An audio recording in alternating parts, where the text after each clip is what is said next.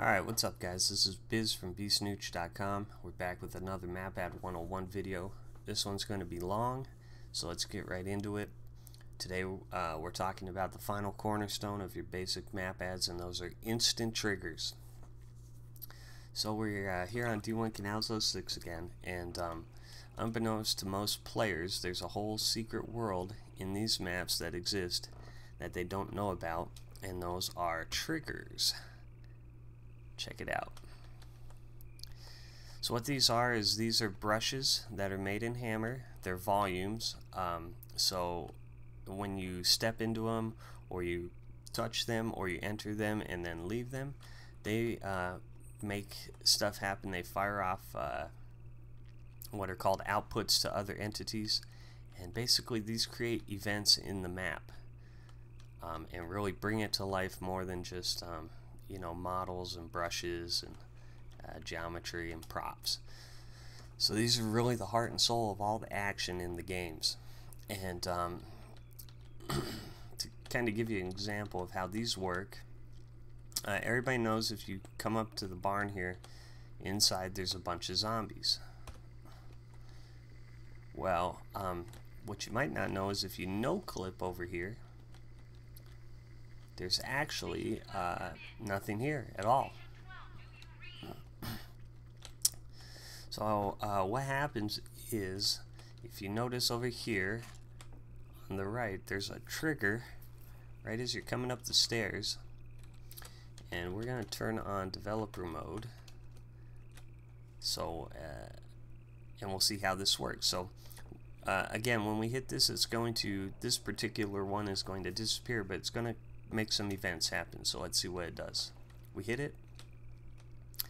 And if we come over into the console here, you can see that it was a trigger once. And it fires uh, some outputs. One of them is barn zombies spawn. And so what that does is it spawns our zombies. So yeah, that's how um, that's how triggers work. And again like I said they exist all around you. Another example um, would be like uh, this dropship over here. If you hit this trigger it actually tells it to get going. So that should kind of give you a basic idea of how um, the triggers work. And this zombies example is actually perfect uh, because it um, it shows you something that you can do with triggers that you can't do otherwise in your mapadd. So one question all the time, or, or really one one um, key thing when you're building a mapadd, is sometimes you want to uh, put things. Well, no. What am I? What am I trying to say here? I, I think it's probably better if I just um, if I just show you guys how this works. So let's come back to the start of our map here and we're going to use an instant trigger. And uh, let's say we want to have it where the player comes up the ladder here because there's some supplies. But when they do that we want to make a bunch of zombies appear underneath them. Now you might be thinking to yourself how, how could we do this normally? If we take a bunch of zombies here and we put them in our mapadd in the entities section here. They're going to spawn when the map loads which means that the player when they get in their airboat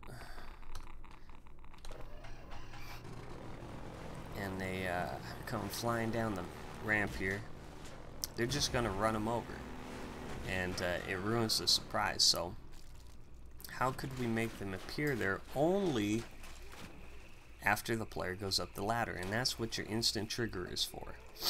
So let's take a look here at uh, how this works.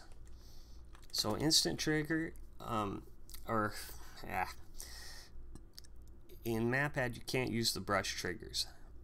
It's there well you can but they're very uh, finicky. So the author made his own thing called instant trigger. This is an entity um, it has an origin just like any other uh, any other entity. and then you want to give it some traits so of course it needs a key value section. And the two we're going to look at today are radius and this is just like a number. Any whole number works here. And then there's something else called a label. That's what I do label okay and this is just a text string So this is your basic instant trigger. When the player touches this, it will fire off um, an event to something, uh, and that's going to be your label section, but we'll get to that in a second. So let's make our surprise zombies here. First off, we need to get an origin for our trigger. So let's come up the ladder here, and uh, probably right here is good.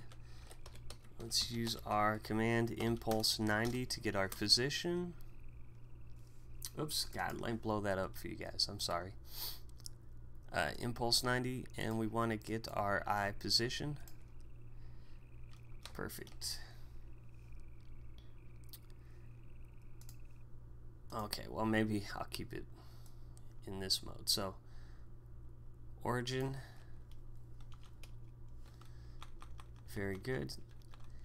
And uh, what radius is, is radius is like how wide the trigger is. So the players, um, the width of the player is 64. That's probably a good number. And uh, now we're going to get to the, well, let's not even do that. Let's just do it like this. So now we've made an instant trigger at the top of the ladder. Let's just see if it works.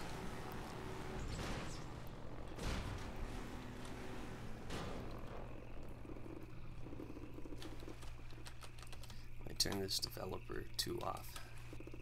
And we'll clear the console.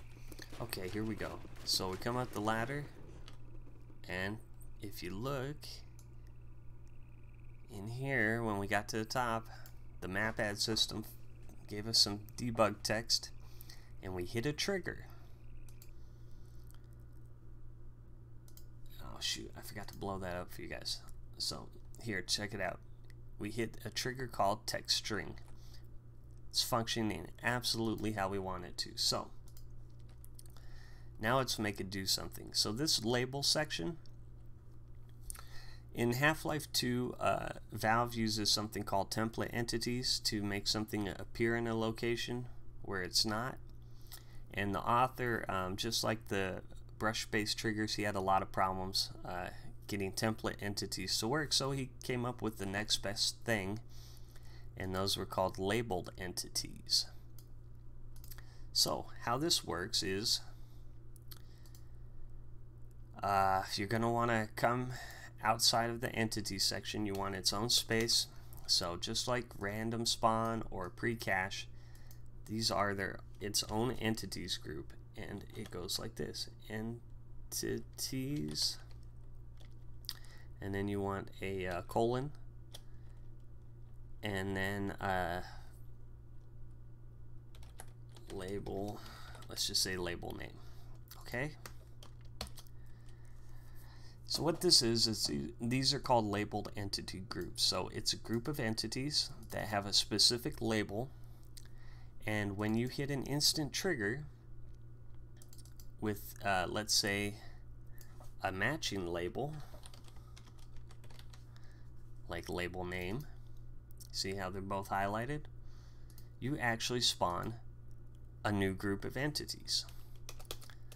So, let's, for example,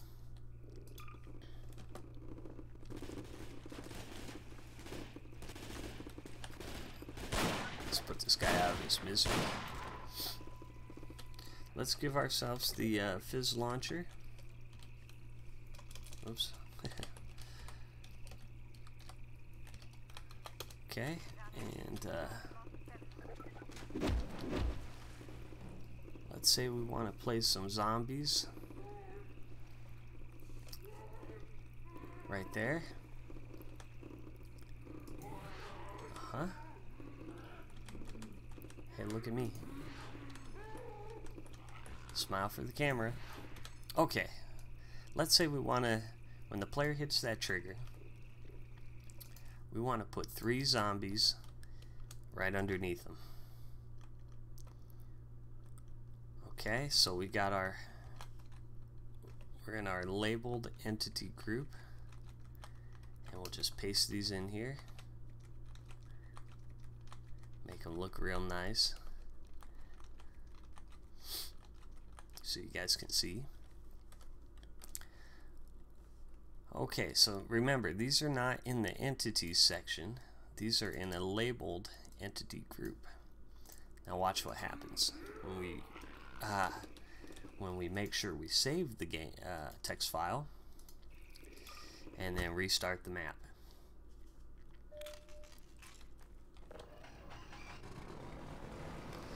So again, the way these work is those three zombies do not exist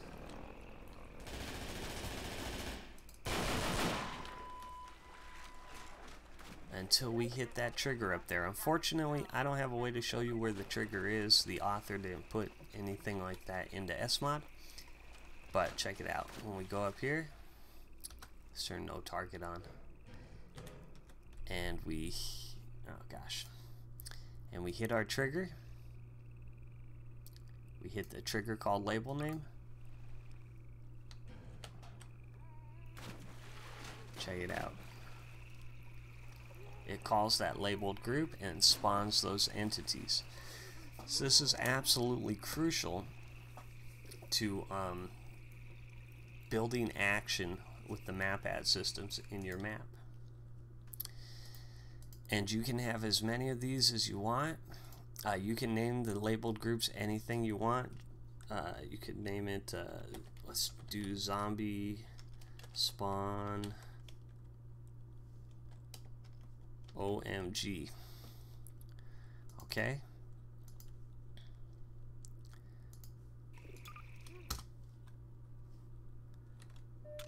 Let's restart the map.